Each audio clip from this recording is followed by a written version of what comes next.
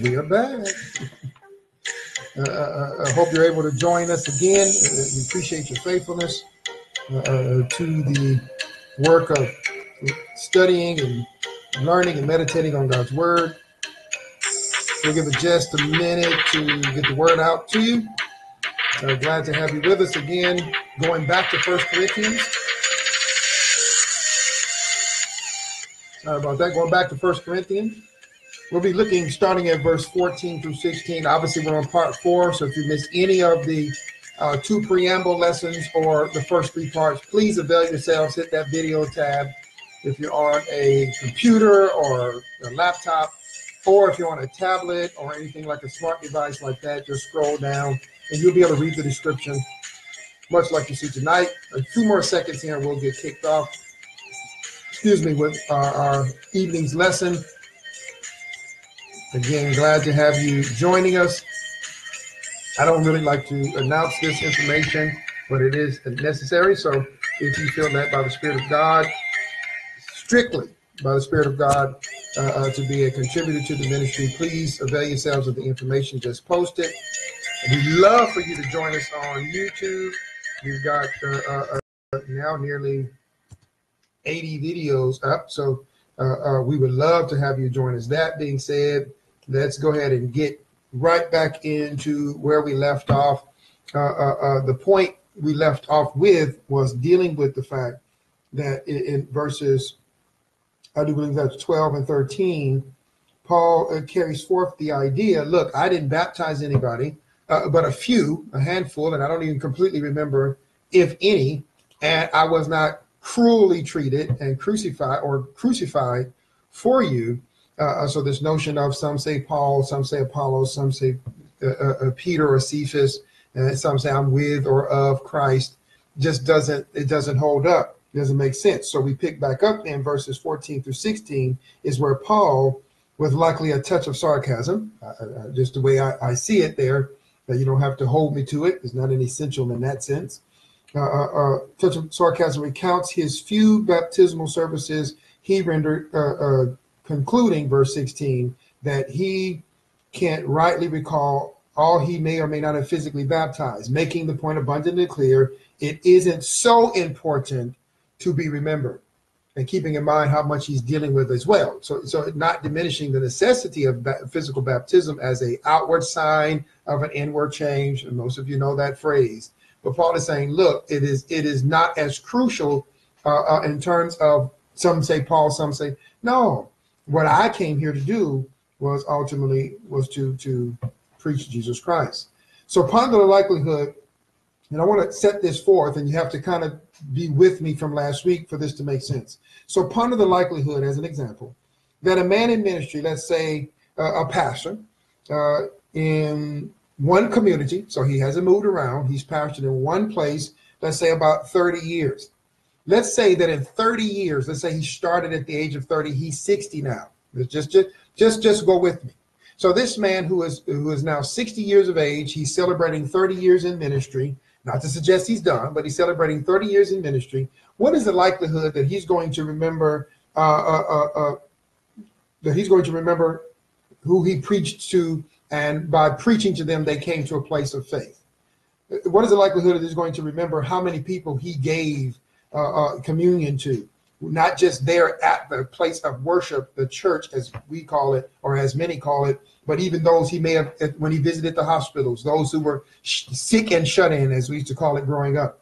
He, what is the likelihood in 30 years he's going to remember how many, and, and, and communion is an ordinance, Holy Communion is an ordinance. And of course, even how many he baptized who had come to faith in Jesus Christ, that he baptized by his own hands and by his own strength.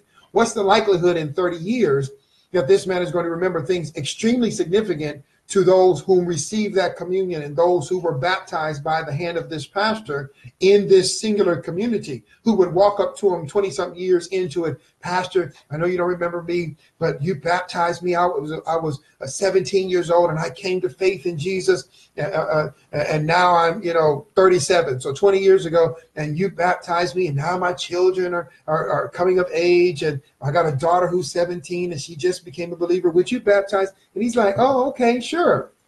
He don't remember he baptized her. Most pastors are going to be, especially if they're busy about the work of the ministry, you know, day in and day out, Sunday in, Sunday out, in terms of preaching, ministering to people, burying people, marrying people, counseling people, studying and teaching the God's word, faithful in prayer, uh, uh, uh, and given to, you know, much preparation to be able to edify God's people. He's not particularly going to remember, especially if he has a sizable congregation uh, that may change, of course, which they do as they get older and have more children and, and they move away, whatever the case may be. They change over time. Now, there's some pastors who might remember but what is the likelihood that the average pastor, 30 plus years in the ministry, is going to remember absolutely everybody who walked through every message? Walker, I've had this happen now in almost 30 years of ministry. You preach this message, uh, uh, so and so and so. Oh, okay, that sounds like me. so, so Paul is saying, look, I, am not saying that baptism is not important, but I, I, really didn't baptize many of you because that wasn't necessarily what I was given to do. Uh, uh, uh, uh so, you know, it, sorry. So so so don't make that. Uh, uh, uh, uh, don't put a big to do on that. And, and and that, and when I say a big to do, what do they do? They use it as a means, as a part of their their division, as justifying their division. No, his glory comes not from this pastor or anybody like this man in my example. His glory comes not from uh, those who speak well of his pastoral acts on their behalf. His glory uh, is, is with God and before men can be found in, as the author's words, being Paul, I am ready to be poured out as a drink offering, and the time of my departure is close, coming to the end now, right? I have fought a good fight. I have finished the race. I have kept the faith. Second Timothy chapter 4, verse 6 and 7. In other words, I did the job I was tasked to do, and whether I have many testimonies or not from men. I'm not, I didn't do it seeking their approval. Even what he says to Timothy, where he talks about uh, being diligent to show yourself approved unto God, a workman that needed not be ashamed. A workman working for who? The people? No. They may pay you a salary, but you're not working for the people. They are paying you a salary on the basis, I hope, of obedience to God. That's their part re- respective to the ministry uh, uh, as they feel led by the Spirit of God, as you heard me say earlier, in respects even to myself. Uh, uh and I say that very carefully because I know I have pastors and what and so on in the on the channel. And I, I want to say to them as well as people who are who attend places of worship, just because you may give your tithes and offerings, I'll leave it in that in that space. It doesn't mean you you own that man of God or woman of God, whatever the case may be, and and therefore, hey, we pay your salary, so you know, preach what we want you to preach, baptize who we want you to baptize. No, that man or woman of God, if they're preaching the gospel of Jesus Christ, as was Paul and Peter and James and John and and on and on, for God. It, it's for God. For Christ will uh, live and for Christ I'll die. So it was not for baptism he was sent, as he goes on in verse 17. Uh, uh, he continues in verse 17, but to preach the good news uh, he adds, and not to preach the good, not to preach the good news of Jesus Christ with clever or eloquent words. Stay with me. Stay with me, uh, uh, because I know this comes up. Uh, it has been a part of controversy in some cases. So, so let's let's flush this out. That's what we're doing. Let's walk through this so we might uh, properly understand it. Those who give no aspiration to higher learning and university education often misuse this text and such like it to suggest, which most of the time it's Paul, you talking in this matter several places in Corinthians, in First and Second Corinthians, about eloquence or uh, uh, uh, of speech or cleverness of speech. Most who do not give themselves to and aspire to any kind of higher biblical learning take this text and misuse it and basically suggest that yes, it don't take all of that. Now you just heard in the previous broadcast where uh, myself and my cohort in the ministry, uh, uh, Brother Bubba or Francis Deal, uh, uh, went on to say, look, you may not have opportunity, most won't have the opportunity to go to seminary and Bible school, but be faithful students of God's word. He added about the need to pray and to trust the Holy Spirit. But understand the Holy Spirit being an intellectual uh, supreme deity is not going to keep you in, and encourage you into a space of ignorance. Paul says, in respects to the enemy, I would you not be ignorant or or a novice or unlearned. uh, uh, uh, yes, we start as babes, designed to the systemic of the word that we may grow thereby. True, that's how we start, but we don't stay there. At some point, we want to leaving the principles and doctrine of our most holy faith. Let us go on to perfection. Let us go on to maturity. Paul says himself, it ain't even in my notes, I'm working on this. Paul says, uh, uh, uh, not that I've already apprehended, Philippians chapter 3. So we're not trying to stay in a position or a place of ignorance, my brothers and sisters. So we, we, we don't want to use texts like this, where, where we see there in First Corinthians chapter 17, uh, uh, chapter 1, verse 17, where Paul says, I didn't come with the extra eloquence or cleverness uh, of speech he's not saying I'm anti or knocking against learnedness and, and, and championing a tolerable measure of anti-education or ignorance. He's simply not doing that, and we must not do that just because we haven't gone to Bible school and it seems difficult. The things that has been discussed, even Peter said of Paul's writings, he called them scripture, but he said some of these things are difficult. They are an enigma. They are hard for learning, but he said they are indeed necessary. If you've ever read Romans, you understand what he's talking about. Uh, so, so Paul is not not not encouraging anti-education. He is not championing a a, a tolerable measure uh, uh, of dissonance from learning the Word of God to the highest levels possible that we can aspire to in trying to apprehend or grasp God's Word. All of this forgetting that Paul was quite educated, having sat at the feet of what was the greatest teacher, noted as one of the greatest teachers of his day, Gamaliel. You, of course, can look that up and study that. I believe that's talk, talked about in Acts, but you can do some some research on that, and you will see and, and do a little background on Gamaliel. Will help you understand uh, how prominent a, a a rabbi he was in that time, in the first century. That is not what the context says here or any time when such phrases is being used. That's not what's being said. It is not suggesting do not aspire to know and learn God's word. That makes no sense whatsoever. That is not to give us any excuse or call. I got to take my time and make sure I'm clear. Do not give yourself pardon and excuse to not be astute students of God's word. Do not do that. Believe it or not, and I can say this as being one who is of the African American descent, uh, uh, uh, uh, the, descendancy, uh, one who is black. And the reality of it is, some of the first things that the people of color learned was actually the Bible. Learn how to read was the scriptures. You think they would, would, would cheer and champion uh, uh, any of those who have come through them, suggesting that it's okay not to aspire to read and to learn and to know. Uh, how about uh, D.L. Moody, who ends up with D.L. Moody Institute? But if you look at do a little research on his background, he was not a man who was learning, and ends up with D.L. Moody, uh, uh, Dwight L. Moody Institute, Bible Institute. so, so, so we may come to God at a place where we do not understand his word. What we know is the gospel, and he died for our sins, which is the place to start, by the way, but we don't stay there. So, what is Paul saying? Again, this phrase is not in, in any way being is to be used in that way. Go back to the preamble lessons. You remember we had two preamble lessons before we got into First Corinthians. Uh, uh, uh, uh we got into this particular letter as written to Corinth, uh, and we know in the Greek city uh, was filled with transient merchants, also Israelites uh, uh, or Jews as they were called then, and Roman citizens who were well, who who very well would have been uh, moved by cleverness and philosophical speeches given in public squares, as well as enamored by the eloquence on display during philosophical and even political debates. Real simple. That sounded really wordy, right? Let me make it real simple. In other words, at the time in the first century, uh, people like Paul and Apollos, we'll, we'll get to in a minute, uh, who had who had come to faith in Jesus Christ and began to preach.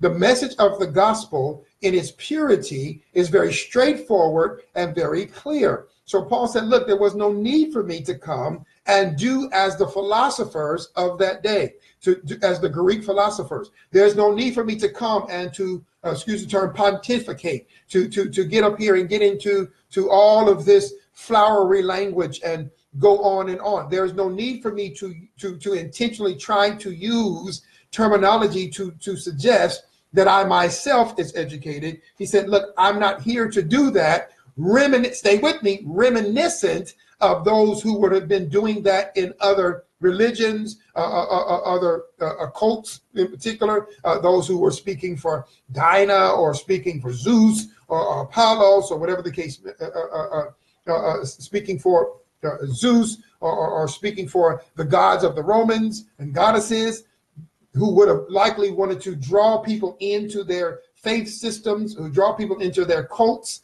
by by using eloquent words and speeches. He said, "Look, we did the opposite of them. I'm, I'm not anti-education." Paul says, "I'm here saying I know how they are presenting the word that the words that they're presenting about their gods and goddesses. I didn't come doing what they were doing. I come being very plain and very clear. As a matter of fact, Apollos." had a natural ability and uh, uh, uh, uh, and spoke with eloquence the things of God. And recall, he became one of the men used to drive the group uh, of believers in division. He became because he spoke with such eloquence, but that was a natural ability. So again, let me just say, uh, uh, be careful then. Yeah, brother, Pastor Matthew said no. Don't go back and say to Noel Jones and say to uh, Doctor So and So. So stop doing that and I say this respectfully, I actually know of a gentleman somewhere in the area where I live who pastors a church where I live who told me out of his own mouth, so I'm not making this up, no names clearly, who literally told me he told a, a one of the fellow uh, leaders, I'll just leave it like that, uh, uh, told them don't don't don't use big words. It don't take all of that. Look, that is not of God. That that is not wise advice. That is not of God. I've had such things said to me. That's not what the scriptures are saying. And to use such a scripture, not that he did that, but to use such such a scripture like this is to say it don't take all of that is unnecessary. It is a sign of ignorance. It is a sign of cheering on, uh, uh, uh, to me, biblical ignorance in a real way, because there are some things in the scriptures that requires much consideration. The terminologies used to explain those things may be wordy uh, it may seem difficult, but trust me, once you look up your definitions and understand those words, they are not then so lofty. It is just a matter of just uh, how about any kind of word, any kind of thing. You had to learn it, and you wasn't just speaking. You had to speak those words in right context. When we were children, we would just say words as they came to us, and then hopefully we had grown people who understood the necessity to speak relative to a circumstance, a situation. We call that when we're reading context, and then help that child develop their use of the language. Yeah, they were hearing people speaking words and were able to speak them, but then it was necessary to have those words come into a, an environment to be used properly. Let me go ahead and use that word so that it was beneficial. So Paul is not saying, look, we tried to dumb it down or we tried to do our best not to sound educated. I, I, am driving this home for obvious reason. I've already said because there are those in the Christian faith to this day who use texts like First Corinthians chapter 1, verse 17 to suggest, see, Paul even said, don't use big words. You haven't read Romans. Talking about a lawyer, Paul could have easily been a lawyer because good Lord Almighty, I mean, it, it, you know, what a tangly where we weave. anyway, so so so so, but but but if you follow through, you you understand he's answering. He's almost debating with himself, answering uh, uh, the objections to his writing, which is why Romans uh, can get somewhat wordy in a sense because Paul is actually writing He's writing and saying, look, this is what you have to believe. This is why we all have to come to faith. Not Jew, not Greek, not Gentile, not man, not woman, not born, not free. We all need Jesus because all have sinned. But he also then addresses the the the, the retorts to his words. He's addressing those whom he knows, considering he's a Roman citizen, may argue these points. So shall we continue in sin? One example, God forbid, right? So he answers himself. Where sin abound, grace does much more abound. But shall we continue in sin? God forbid. He realizes by saying that, even though it is a truth, listen to me, it's true. He also says, but for those who are of God, in essence, we don't continue in sin. he goes on to explain. We we who are born of God, we we we we, don't follow that road. We don't we don't practice sin. I want to make sure I throw that in, and I can go to uh, uh, the, the second John. But we don't practice sin. We don't continue in sin. Not that we don't commit it, unfortunately. Not that we don't have moments of it. No, we don't practice it continuously. How do you know? Because Romans chapter 7, 14 through 25, when I go to do good, evil is present. My nature is there. I, I, am thinking right things, and then something will jump up in my mind and be a temptation. So I got to have my mind renewed. And that's not a one time renewal, that's a perpetual renewal. Why do I have to have the Holy Spirit according to the gospel, the, the gospel according to John? Who is in me, showing, reminding me of things because I can forget them, showing me things to come because I can get bogged down in where my life is in any moment. Paul actually ends up suffering from a period of time in, in depression because things weren't quite how, how, he had preached and preached and preached, and he had gone through a period of time, which we'll get to eventually in Second Corinthians, where, where he even alludes to the fact that that you know things have been re, re, you know ridiculous. They have been extremely difficult. So so Paul went through a, a time, uh, uh, and then he, he you know got came back to himself and got back on the high horse, uh, uh, uh high horse. He got back on the horse and went out to do what he was called to do. So I want to make sure I, I make this abundantly clear. So they even used Apollos, who so happened to be a gifted orator, is that big word, speaker. Okay, we'll just say speaker because I know what the word orator means. And I can help broaden your vocabulary by using the word orator. And then you understand an orator is a speaker. Why knock against learning? Now you know you can say orator, you can say speaker uh, particularly a public speaker, and you would be right. See, so so we, and that's why I challenge you in the preambles. That's why I keep alluding to it. We're going to stretch now. We're going to stretch a little bit. Even when we went back to the previous series dealing with uh, divine relationship number one, and we did the first lesson, the pre-lesson, almost in a sense about systematic theology. That's those are not hard terms, but but but it's not terms that we always think about, and we want to we want to broaden we want to we want to grow we want to be stretched uh, we want to be pulled uh, and we want the holy spirit to to expand us. Look if you want god to use you in a greater way you have to you have to push in in a greater way. You want god to pull more out of you you have to let god pour more into you. You have to have god pouring more into you to get more out of you. You can't get out of you what's not in you okay? So so so please understand the necessity of what we're speaking. Charismatic men and women, servants of God in this day, must be careful that their abilities are not used in such a manner as to bring division in the body of Christ, whether they may be serving uh, uh, uh, uh in the body of Christ, wherever, excuse me, they may be serving in the vineyard. I, I know that seems strange, right? Nobody would misuse yes. It happens all the time. We've already talked about it, uh, uh, where, where, where, where we become fans, right? We become fanatics. My preacher is so and so and so. Man, my pastor is so and so and so. Oh, my, pa-. I mean, some people say my preacher. We'll call you. You know, you're my preacher, right, pastor? okay. If I'm if I'm that pastor, I, would be really concerned that that man or woman is saying something to that effect. My pastor is the best pastor. I believe that's a teaching moment and this is just again for my brothers and sisters in ministry, uh, uh, uh, especially those as pastors. And I say that because you are constantly before the people. If you hear that kind of stuff being discussed, while you appreciate the the sentiment, you may want to take it as a teach. I'm just encouraging the teaching moment to say, wait a minute, no, Christ. Did I die for you? Well, Pastor, you know what I mean. Did I die for you? But you've been there for me. No, are you trying to tell me that every time you needed someone to be there, I was there every time? Every time? Well, you know, Pastor, I understand exactly. So, so, so, so, don't aggrandize me. Essentially, don't worship me, Pastor. I ain't worshiping you. What else do you call it?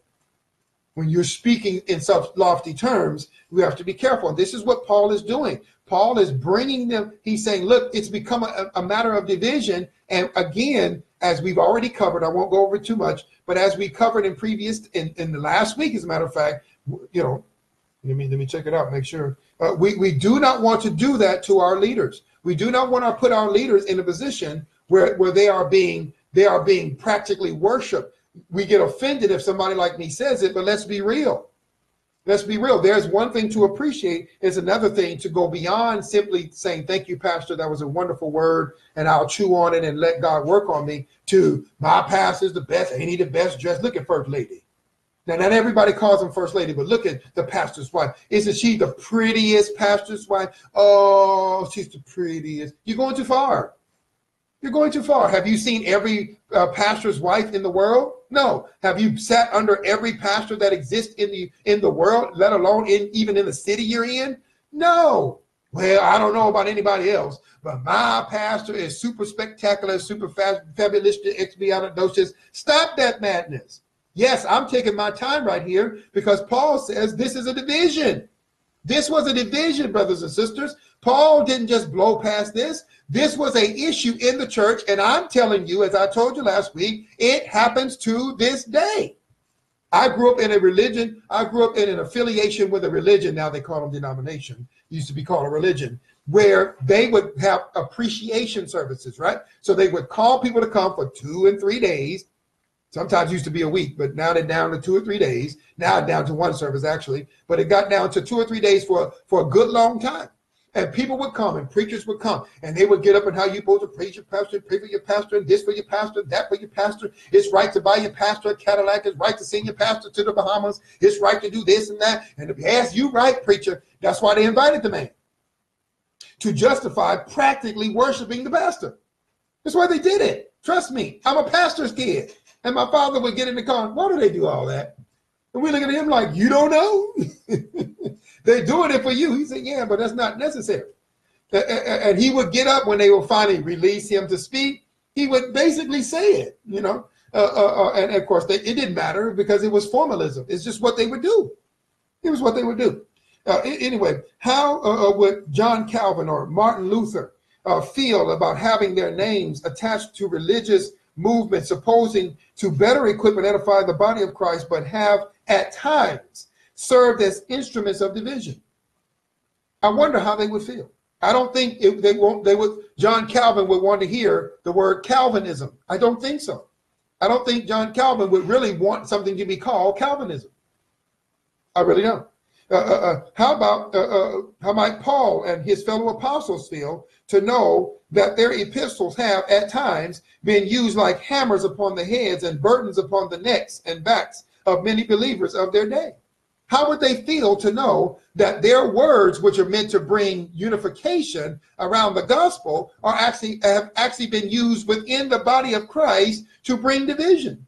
How would they feel to, to know that their words, which are supposed to admonish and correct and rebuke so that we would be unified, have in fact become means of through interpretation to, to, to be a, a place of division? Again, it's not I go to this church here, you go to that church there. That's not that's not anywhere in scripture. The issue is the reason why I don't go to that church and I go to this one is because they ain't preaching the right word. Now we have an issue. Now we I used to go to that church on the corner, but now I'm down here telling them, yeah, don't go over there because that pastor is this, this, this, that, and the other. And if there's any truth to that, that's even worse. That's bad, should I say? And if there's no truth, that's even worse because now you are being divisive. And Paul is talking not only to the people in Corinth, but he is talking to you. Yeah, I'm nailing this thing. Paul offered no example for any uh, uh, one at any point to try to judge another as to what he meant by one type of speech in opposition to another, but makes his point clear. My goal was not to do anything for which such a division among you would be merited, including I didn't baptize you. So Paul says, Look, man, you, I did all this preaching about Jesus Christ, and in the final analysis, you took what I did and what Apollos did and what Cephas or Peter did, and you turned it into division. No, he says, I was plain, I was clear. I came with no other agenda but to convey the cross bore by Jesus Christ as I could. I was and I wanted to be so clear so that my message would be fully effective. And indeed was because people came to faith in Jesus Christ. For carnality's sake, they subverted the preaching of all, be it Paul, Apollos, or Peter, to their own purpose. We already talked about it lust of the flesh, lust of the eyes, pride of life. Let me slow it down. Do you understand it before we move on? Do you understand the magnitude? He, he spends some time and delves into this from chapter from, from uh, verse 10 to verse 17 and he's he's just going to build on that but but before we build go to the next step do you understand the magnitude i'm telling you that to this day this happens not just one church to another i'm telling you within the confines of a church within the confines of a church this happens. If you have multiple elders or preachers or deacons or uh, uh, uh, uh you have uh, two different singing groups two different choirs depending on the size of the church you go to. Sometimes they actually have two different choirs or two different versions of a choir. I actually went to a church again not saying any names because i have people who represent those places uh, churches i've gone to throughout my years there's a church, however, from where I grew up. I'll just leave it like that. Those who know me know where I grew up. Literally, they have a contemporary service and a traditional service. And those of you who, who are in those kind of situations, you know exactly what I mean. They literally have a service so they can sing traditional hymns. Turn to page 365, turn to page, uh, uh, uh, and, and then they have a second service, not because they need to have a second service, but they literally will do a second service and call it the contemporary service so they can sing con, quote contemporary Christian music. Even now, now uh, uh, uh let me not, I'm not going to do that, but but even in, in, among other nationalities, I won't say which, you find, well, no, I want amazing grace. I mean, do you understand what I'm saying? I want amazing grace. Y'all never sing what I want to hear. And this will be a person who sits in the pews. I, I, I, sing, I play music. I, have been in choirs, I've been in groups, I've sung solos, I, you know, on and on and on. Do you understand these things become divisive? I literally had somebody, and I played drums in both services. I actually had somebody come up to me. See, the reason why I come to this service, same message, by the way, same message preached in the first and second service. Literally had somebody come up to me and say, I, I didn't know her, come up to me and say, Oh, I really like, you know, I, I you know, I, I come to the first service but I, I stay for the praise and worship of the second service. I'm just telling you. She literally said to me, Yeah, because I also like that too. And then I go home after the praise and worship. so I sit through a service and a half so that I can get that music, the message, and then I stay for the next service so I can get that music too. Divisive. it's, it's divisive. And I don't even know if that church, I haven't been there in many years, if they're still doing that. That was, wow, 2001. So that was 18 years ago. I left in 2002. So that's 18, 17, 18 years ago. They literally had two services, and they're not the only one that was in town doing that. They literally had two services. You can go on some websites right now, particularly of churches of size, and you will see they have a contemporary and a traditional service. While that in and of itself does not mean divisive, the reality of it is you have to ask yourself why. Who are they trying to appease? God? Is that to worship God? Or is that to is that to appease the people in the pews? And let's just be honest, the leadership. See, see, I ask myself these questions as a person who is in ministry because I don't want to fall prey to so busy trying to please the, the, the, the ears of people. So now I better sing Amazing Grace or I better go to the hymn. Yeah, you know, I don't sing hymns here. Oh, I don't want to lose a tithe payer. Oop. I said that out loud, so I might as well work with it. I'm afraid to lose a tithe payer, so we better eventually now we got two services. Yeah, you know, I, I love that tradition of them young people, the whippersnappers. Do you actually think that two or three generations after many of the Psalms had been written, where, you know, I, I like David's Psalms. I don't really like Solomon's Psalms. And them sons of Korah, I mean, those was all right too, but I really prefer David's Psalms over the. You understand?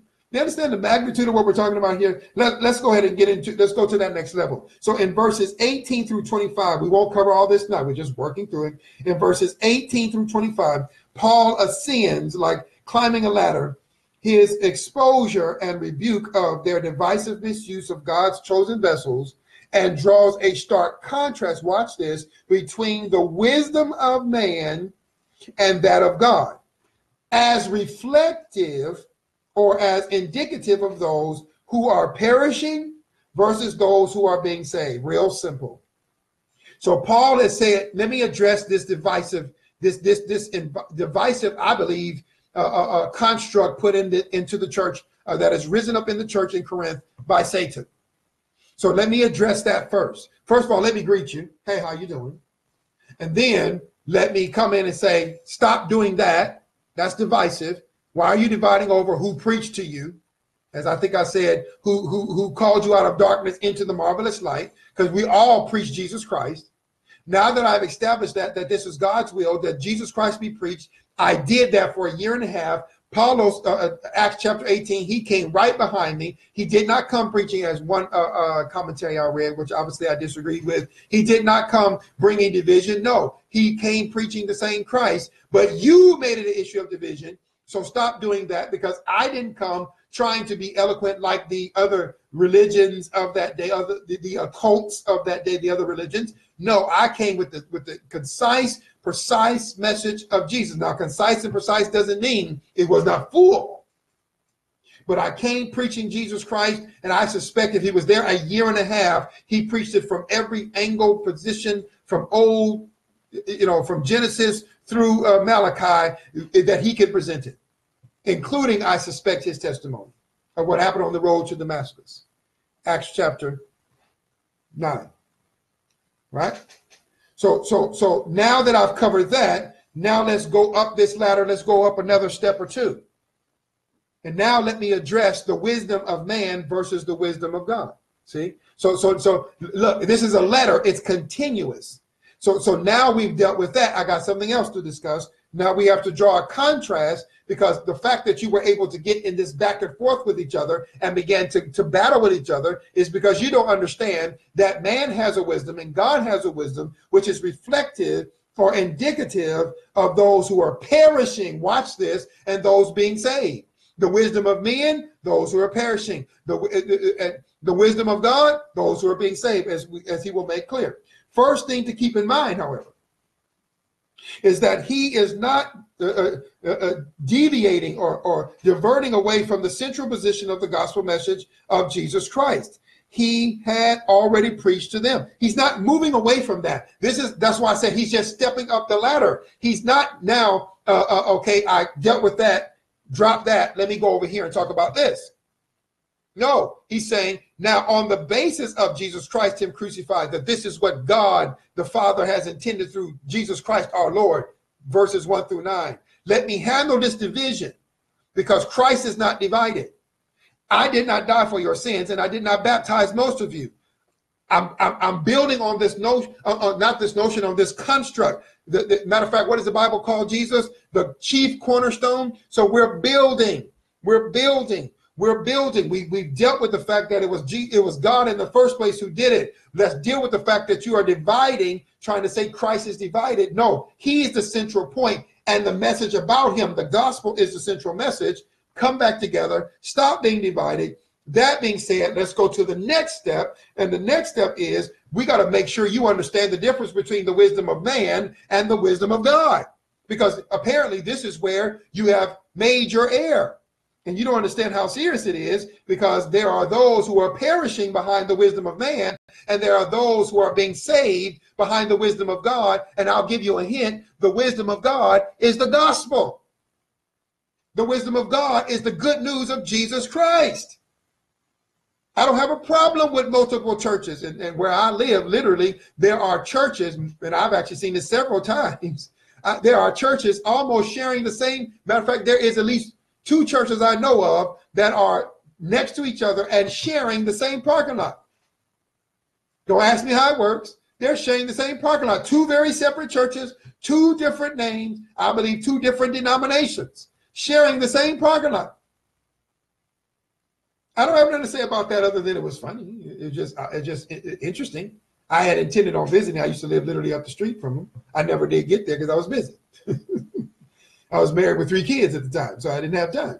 But but but but I want you to understand the magnitude of that. I saw another one, uh, uh, not too far from that one. Uh, they don't share the same parking lot, but two fairly large uh, uh, um, in terms of building structure, who are almost there's a there's a, a divide there.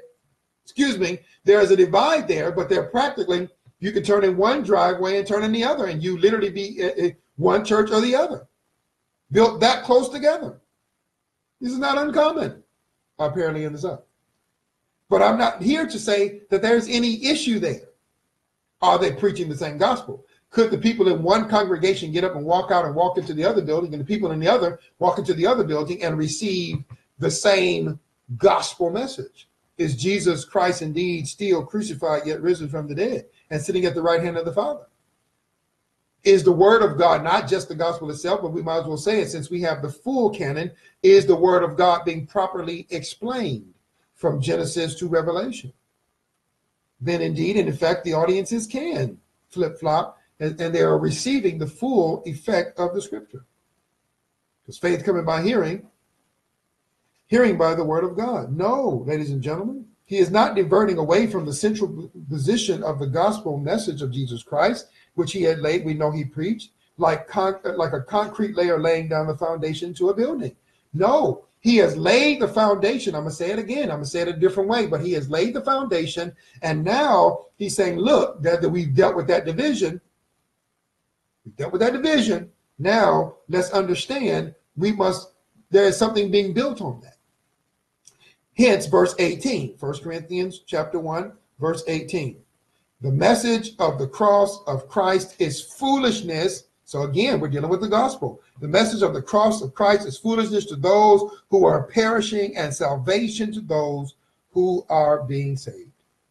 Let me start now. The message of the cross is foolishness to those who are perishing, and it is salvation to those who are being saved. Let me make these two quick points, and then we'll pick it back up, and we'll we'll, we'll seek to understand. Uh, uh, matter of fact, three quick points. Let me squeeze. Yeah, I have time to get these in, and then we'll come back uh, uh, and deal with this. So, what is meant by perishing and foolishness? What is meant by perishing and foolishness? I'm sure you want to know. So, let me tell you. Perishing here deals with those given to destruction. For example, Judas Iscariot, who was called the son of perdition. That word essentially translates, son, uh, uh can also be said, the son of destruction. He is the son of destruction. And we know who his father was. He was of his father, the devil. But he was a disciple of Jesus. He, uh, what did Jesus say in, in, the gospel according to John chapter 17? I lost none except the Judas, who was the son of perdition. Excuse me. This is second Bible study. And, and, essentially uh, two and a half hours, a little over two and a half hours. So it's working on me. Uh, uh, he is the son of perdition. I didn't lose it. None was plucked out of my hand except one who was not of me in the first place. He was of destruction. Perish here deals with those given to destruction, like Judas Iscariot, the son of perdition or destruction. In Ephesians chapter 2, verses 2 and 3, Paul calls them, these who are given to destruction, he calls them disobedient. Again, Ephesians chapter 2, verse 2 and 3. In Romans chapter 1, verses 18 and 19, he describes them as unrighteous people who suppress the truth of God by their unrighteousness, knowing full well the truth that God had made clear to them by himself. God made it clear to them what the truth was about him, and in particular, of course, who Jesus Christ would be, prophetically speaking. And they held that truth in unrighteousness, is what he says in, in, in Romans chapter 1, verses 18 and 19. They suppressed the truth of God in their unrighteousness. Christ called these same ones who were perishing tares, which have been sown among the wheat by Satan. You can find that. You can read it for yourself. Matthew chapter 13, 24 through 30. Matthew chapter 13, 24 through 30. According to Christ, some will even come to him calling him Lord, Lord, and listing off their spiritual religious accomplishments they perform. We didn't we cast out devils in your name? On and on and on. their, their spiritual religious accomplishments they perform by his authority, but he will respond, Depart from me, me, you who worked iniquity, I never knew you. Matthew chapter, you can see this in Matthew chapter 7, 21 through 23, Luke chapter 6, 46 through 49. Let me let me just slow it down a minute to make sure we don't miss this. These who are perishing, we can go to Matthew 25, uh, uh, 31 through 45, I do believe, talking about sheep and goats. I've taught on this about the contrast in scripture. Those who are of God, those who are not of God. First Corinthians 1 18, those who are perishing, those who are being saved. Do you see the constant contrast in scripture? They left us for they they were not of us. I believe that's in the, the, the second John, I believe. So understand that there is a constant contrast that is happening. Let the wheat and the tare grow together. And I love one of the, the accounts I read in, in expositing that particular uh, uh, parable, Matthew 13, 24 through 30, and said that the wheat and the tare. Now watch this. He's not talking about tares sown into the church among the believers. No, that's tares sown into the world. And actually, if you read the exposition or the explanation Jesus gives, that proves that to be true. He's talking about the fact that in the world there are those who have been sown. We already talked about Judas Iscariot that have been sown by Satan. They are up. Matter of fact, Jesus said in the gospel according to John, I believe the gospel according to John chapter 8, I could be wrong. Don't quote me on that. Those coordinates could be wrong. He says, You're of your father, the devil. He was a murderer from the beginning. Remember, they were trying to murder him you're of your father the devil. Because if you were Abraham before Abraham was, I am, and Abraham was looking for my day and saw it. So you are not of Abraham. He is not your father, because if he was your father, you would love me. You would believe me. You are not of Abraham. So, so understand how important I'm taking my time through here. How important is this, Brother Gabe? It is so important that Paul says, Look, man, you, you look, man, woman of, of God, you've got to get this that there are two groups, not five groups, not 10 groups, two. Two tares, wheat, sheep, goat, unsaved, saved, the disobedient, and the obedient. On and on and on and on. He makes it abundantly clear the word of God, I should say, makes it abundantly clear. And so when we understand this, uh, uh, uh, that's why the Bible says we are not of this world. We've already quoted it for uh, First John, I believe, chapter 2, 15, 16, 17. In this world, lust of the flesh, lust of the eyes, pride of life. So then those who are perishing, verse 18, are those who are set for destruction. They are of the devil. And I'm not calling anybody other than Judas Iscariot and other than who the Bible refers to. Please do not walk away from this saying, now go and look and you are the devil. Because Ephesians chapter 2, matter of fact, stops you from doing that. Those verses we alluded to, because he says, oh, by the way, we were of them. We were just like them. If you need more reference, Romans chapter 3. All have sinned and come short of the glory of God. No one was seeking after God. No one was, was, was pursuing him. We were dead in trespasses and sins. That's Ephesians. Everybody was. So none of us have a right to point a finger and say, You're up of the disobedient, you're going to hell. We cannot, matter of fact, uh, Corinthians tells us, Judge no man before their time. Judge in that particular case, ladies and gentlemen, is not don't assess anyone. It's saying don't determine someone to hell or heaven. You don't have a right to do that, nor do I. Jesus in the and I, and, I, and I, I'm sorry for bouncing around, but it's coming to me, so I'm giving it to you. Jesus, when he tells the parable of the tare and the wheat, he, they said, "Well, shall we go out and, and pull it up?" He said, "No, least you pull up the wheat. Just let it grow, and let it grow." So in the world, we have unbelievers and believers. We have the disobedient and we have the obedient, and we're all living together. We're just not of them. We are new creations. We are different now. That's why our ways must glorify. Uh, you're going to make me do it. I got a few minutes left. Let me finish it. So Jesus says, I never knew you. Depart from me, ye workers of iniquity. I never knew you. Understand these tares, these goats, these disobedient, these some refer to as reprobates, were never of God. But what that simply means is they lived as unbelievers in the gospel. They considered the gospel, I'm ahead of myself a little bit, to be nonsense. As a matter of fact, the word foolishness simply means those just described counted the gospel message as mere folly, as moronic, uh, uh, as moron, uh, uh, moros, I believe is the Greek term. That's where we get our word moronic. Moros is where we get our word moronic. They considered the word of God moros or moronic, right? So these people are people, no matter how much you live before them, the, the, the life of, uh, uh, uh, that, that is lived in circumspect and quiet and, serving God, and you're not giving too much drink, you're not giving too much party. That would be Ecclesiastes. You're not giving to revelry, you're not giving to cussing.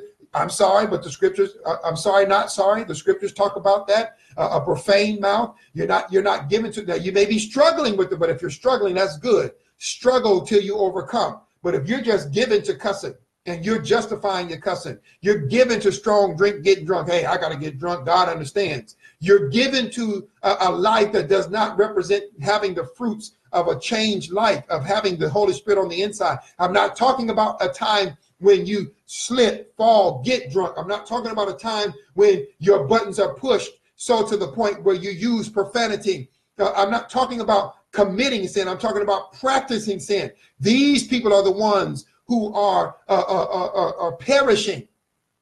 These people. So don't judge yourself for as one who has committed sin, who falls. The just man, the Old Testament tells us, fall seven times over one thing. And Jesus says, My God is coming to me. And Jesus said, How many times should a person be forgiven? You say seven times seven. I believe Peter spoke up. He said, no, 70 times seven. And this is one infraction. The implication is one infraction. Wait a minute. No, no, no, no. The reality of it is a believer will make mistakes. Peter, who preached and God moved in Cornelius' house, then acted like he didn't know Cornelius. Look, man, Peter was an apostle at this point. He had already been converted. So the, the notion that you will never commit a sin is a falsehood. And as a matter of fact, First John chapter 2 says, and if you say you have no sin, either chapter 1 or chapter 2 says, and if you say you have no sin, you're lying. If you say that you are incapable of sin because you have the Holy Spirit, you're lying, and the truth is not in you. I'm not here to spill my, my, my, my life before you, but I have erred as a believer. I got saved at 17. I've been married more than once. I have erred, ladies and gentlemen. Again, I'm not here to get into my business, but the reality of it is I have erred. I have erred. I have sinned. I have transgressed. I have committed sin. And God has, thankfully, where my sin had abounded, and it got bad in some spaces, but his grace much more abounded. And I was I was repentant. I turned away from those infractions, and I encourage you. Uh, uh let me go and just get this in. I encourage you, brothers and sisters, to do the same truly brothers and sisters in christ no you're feeling that ah, i shouldn't have went that way. I shouldn't have did that thing. I shouldn't have said that thing. Turn away from that thing. Don't wallow in it. Don't play in it. Don't don't justify yourself in it. No we find our whom he whom he calls he qualifies whom he qualifies he judges that's not ministry by the way. That's salvation whom he calls into salvation. He justifies and as he justifies them and deems them just before himself he he qualifies them. He qualifies, justifies, glorifies. He make them right before him. He makes them holy. He makes them sacred. Remember that word? He makes them holy or saints. Hagios. He makes them right before. We don't make ourselves right. He makes us right. Knowing this, Philippians chapter 1, verse 6, he that has begun a good work and you shall perform it. Uh, chapter 2, uh, uh, uh work, you know, work out your soul salvation with fear and trembling. Verse that's verse 12, but verse 13, knowing that God is the one who worketh. I'll be to preach that. So foolishness simply means those who described as as wallowing in, who practice continuously. Look, this is just an example. Who are who are living with someone and you know you're not married and you're calling yourself a Christian, but you're living together and you're behaving yourself as married. You have not presented yourself to the world properly as a married couple, but you're behaving yourself, quote unquote, as a married couple. That is what we call practicing sin. You are living together. You are in sin and stop excusing yourself. Now, that's just an example, and I'm only admonishing you. This is not me being condemning. I'm telling you, if you truly believe yourself a Christian, you got to get out of that situation. Otherwise, your fruit, or what's coming out of you, Uh, uh, how can a good tree bear bad fruit? The words actions and deeds. Your actions suggest you are not a believer and was never a believer, the fact that you didn't even make such a decision. So if you've made such a decision and you go, oops, I'm not supposed to be here, get out of there. Gabe, you just don't understand. Live on the street. It is better. What is he saying? To to to to die minus an eye, minus a hand, than to go straight to hell with all of your members. I know that's hard. I know that's tough. I have been in difficult situations, but I'd rather live for God and, and, and, he be glorified in my life, no matter how hard it is, than to, than to live for myself and live comfortably. And how could you even be living comfortably? How could you climb into bed with that woman or that man, sir, ma'am? How can you do it?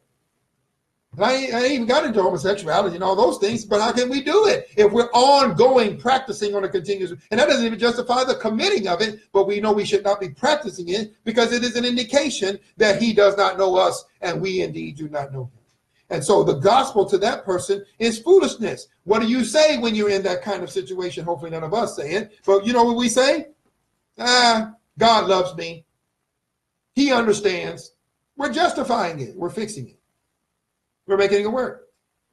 Hey, turn uh, uh in your Bibles to Genesis chapter 6. Let me rush on to Genesis chapter 6, and you will see humankind rejecting God's message of judgment as preached by Noah for 120 years until he and his family, along with the creatures that God determined to be spared his wrath, entered into that ark, and then it rains nonstop for 40 days and 40 nights. They deemed the message and actions of Noah uh, and his family in building the ark as folly. They thought it was foolishness. They thought it was moronic. They thought it was stupid. They said it ain't rain. Rain, what is that? We ain't never seen rain because there had been no rain upon the earth. They did exactly what we do today. And if I if I just had time, I'd go to the parable that he talks about Lazarus and, and, and the rich man the rich man and Lazarus, excuse me, and Lazarus laying at the gate of the rich man and die. Both men die, and one man lifts up his eyes, uh, essentially in hell, with a gulf in between, and the other man in the bosom of Abraham, essentially meaning he is in the place in Hades. This is before Jesus has died, right? So he's in the place of Hades that is a pleasant place. It is a paradise place waiting for Jesus to die and resurrect and for him to go on and be with Jesus. And that man, via the parable, is in the bosom of Abraham, in Abraham. And the rich man looks over and says, Abraham, tell Lazarus to come and dip his finger in this big gulf between us and quench my tongue in this fire, in this torment. And Abraham says, The gulf is too big. He cannot cross over. Well, Abraham, Father Abraham, go and send him back and tell my brothers.